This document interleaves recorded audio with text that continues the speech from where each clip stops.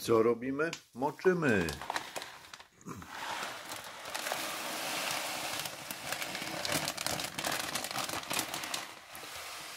Zanim to wrzucimy do akwarium, to troszeczkę trzeba to wymoczyć.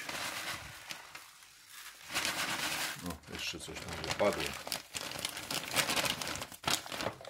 Okej. Nie wiem, jakiś gift?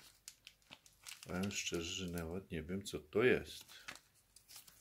Jestem zaskoczony, ale zobaczymy sobie później. I tutaj oczywiście woda aero pójdzie i będziemy moczyć.